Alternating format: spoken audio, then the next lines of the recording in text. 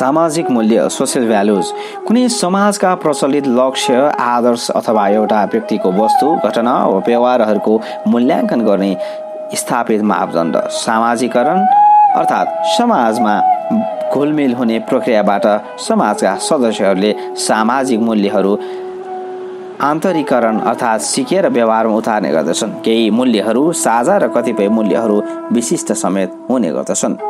समाजशास्त्रीय दृष्टिकोण sociological perspective सामाजिक जीवनका विभिन्न पक्षहरूमा समन्वय स्थापित गरेर एउटा मान्य दृष्टिकोण विकास गर्ने प्रयत्न सामाजिक घटना र सामाजिक जीवनको व्याख्या गर्नका लागि समाजशास्त्रमा कैयन दृष्टिकोणहरू विकास गरिएका छन् जस्तै संरचनात्मक प्रकारवादी दृष्टिकोण मार्क्सवादी दृष्टिकोण साङ्केतिक अन्तर्क्रियावादी दृष्टिकोण विश्व व्यवस्था दृष्टिकोण आलोचनात्मक सिद्धान्त आदि समाजशास्त्र सोसियोलोजी सामाजिक प्रणाली वा व्यवस्था सोसियल सिस्टमका सन्दर्भमा सामाजिक जीवन र व्यवस्थाहरूमा हुने परिवर्तनका कारक। ती परिवर्तनका परिणामहरू र तीसँग व्यक्तिको जीवनको सम्बन्ध समाजशास्त्रका मुख्य विषयवस्तु हुन्। सोसियोलोजी शब्दको सर्वप्रथम रचना गर्ने श्रेय अगस्ट कम्ट एटिन थर्टी एटलाई जान्छ।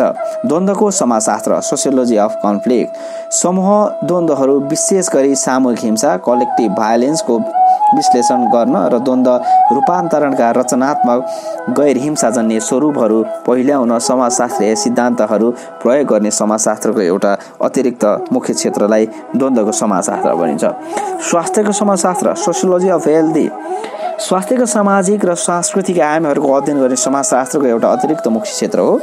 सबै संस्कृतिहरूमा स्वास्थ्य र बिमारीको स्थितिका सम्बन्धमा विभिन्न धारणाहरू रहेका छन्। स्वास्थ्यको समाजशास्त्रले तिनवटा मुख्य विषयहरूको अध्ययन गर्दछ। पहिलो स्वास्थ्य र चिकित्सा सम्बन्धी वैचारिक सोच। दोस्रो तिनको सामाजिक मापन। तेस्रो स्वास्थ्य एवं बिमारीपनका स्वरूपहरूको व्याख्या। स्वास्थ्यको समाजशास्त्र विकास गर्नमा टालकट पाल्सन नाइन्टिन फिफ्टी वानको प्रमुख योगदान रहेको छ। चिकित्साको समाजशास्त्र सोसियोलोजी अफ मेडिसिन। चिकित्सकीय पद्धतिहरूका समाजशास्त्रीय पक्षहरूको अध्ययन गर्ने तथा बिरामीपनालाई विचार र व्यवहारको एक समूहका रूपमा विश्लेषण गर्ने समाजशास्त्रको एक अतिरिक्त मुख्य क्षेत्र।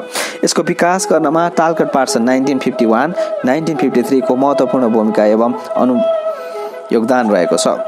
कृषिको समाजशास्त्र सोसियोलोजी अफ एग्रिकल्चर कृषि प्रणाली कृषि उत्पादन कृषिजन्य तौर तरिका र खेतीपाती पद्धतिका सामाजिक सांस्कृतिक आयामहरूबारे अध्ययन गर्ने समाजशास्त्रको एउटा अतिरिक्त मुख्य क्षेत्र औद्योगिक समाजशास्त्र इन्डस्ट्रियल सोसियोलोजी औद्योगिक उत्पादनका पद्धतिहरू र औद्योगिक जीवनशैलीसँग सम्बन्धित समाजशास्त्रीय सिद्धान्तहरूको विकास प्रयोग एवं अध्ययन गर्ने समाजशास्त्रको एउटा विशिष्ट क्षेत्र यसमा औद्योगिक जीवनसँग सम्बन्धित विशिष्ट पक्षहरूको अध्ययन गरिन्छ। औद्योगिक निकायको आन्तरिक कार्य सङ्गठन दोस्रो औद्योगिक संस्थाहरू र सङ्गठन जस्तै मजदुर सङ्गठन तेस्रो औद्योगिक संस्थाभित्रका व्यक्ति वा समूहबीचको सम्बन्ध जस्तै प्रबन्धक व्यवस्थापक निरीक्षक अनि अरू श्रमिकहरू बिचको सम्बन्ध। चारौँमा औद्योगिक संरचना र प्रकारहरू व्यवस्थालाई परिवर्तन गर्ने प्रविधि। आर्थिक राजनीतिक मनोवैज्ञानिक एवं सामाजिक कारक र तिनको प्रभाव पाँचौँमा वृहत सामाजिक संस्थाहरूसँग औद्योगिक घटनाहरूको सम्बन्ध। राजनीतिक समाजशास्त्र सोसियोलोजी अफ पोलिटिक्स। राजनीतिक व्यवस्था र सामाजिक व्यवस्थाका पारस्परिक सम्बन्धहरूको अध्ययन गर्ने समाजशास्त्रको एउटा विशिष्ट शाखा। प्रारम्भमा राजनीतिक समाजशास्त्र पोलिटिकल सोसियोलोजी र राजनीतिक समाजशास्त्रलाई समाजशास्त्रका फरक फरक शाखाहरू मानिन्थ्यो तर विषयवस्तु र क्षेत्रको व्यापकता बढ्दै गएपछि वर्तमानमा यी दुवै बिच फरक छुट्याउन कठिन हुन पुगेको छ। वृद्धावस्थाको समाजशास्त्र। उमेरजन्य वृद्धिसँगै भएर शारीरिक प्रक्रियाका अनेक सामाजिक तथा सांस्कृतिक आयामहरूको अध्ययन गर्ने समाजशास्त्रको एउटा विशिष्ट क्षेत्र। ज्ञानको समाजशास्त्र।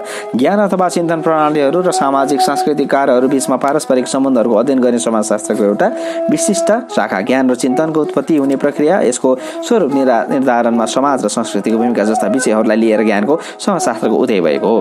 धार्मिक दार्शनिक कानुनी राजनैतिक आदि सबै क्षेत्रका ज्ञानहरू समाजको उपज हुन् अर्थात् ज्ञानको उद्भाव र विकासमा तात्कालिक सामाजिक सांस्कृतिक कारकहरू प्रभाव पर्छ भन्ने मूलभूत मान्यतामा ज्ञानको समाजशास्त्रीय आधारित हुने गर्दछ।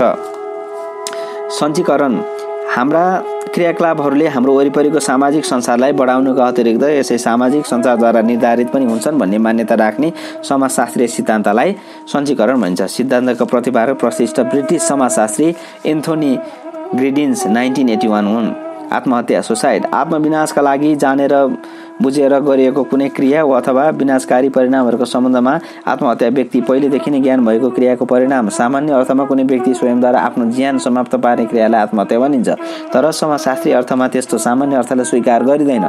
यसरी आत्महत्या निजी र व्यक्तिगत क्रिया पर्सनल एक्सन हो तर समाजशास्त्रमा यसलाई सामाजिक शक्तिको परिणाम मानिन्छ। समाजशास्त्र समाजसँग जोडिएको घटनाका रूपमा दृष्टिगत गरेर नै आत्महत्याले समाजशास्त्रीय व्याख्या गर्नका लागि विश्व प्रसिद्ध फ्रेन्च समाजशास्त्री Emile Durkheim suicide study in sociology nine eighteen ninety seven पुस्तक रचना गरेका थिए। परार्थवादी आत्महत्या।